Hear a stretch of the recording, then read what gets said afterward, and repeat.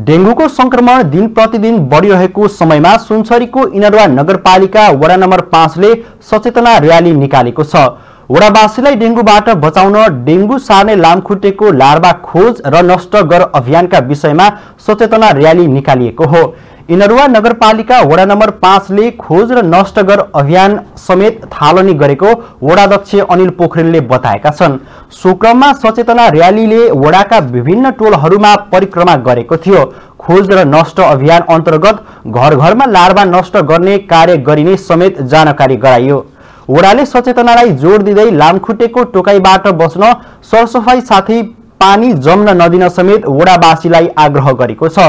वडाले आयोजना गरेको सचेतना कार्यक्रममा इनरवा नगरपालिका प्रमुख केदार भण्डारी उपप्रमुख विनेता कुमारी मेहता इनरवा अस्पतालका medical superintendent doctor Devraj Ghimire लगायतका अतिथिहरूको समेत सहभागिता रहेको थियो।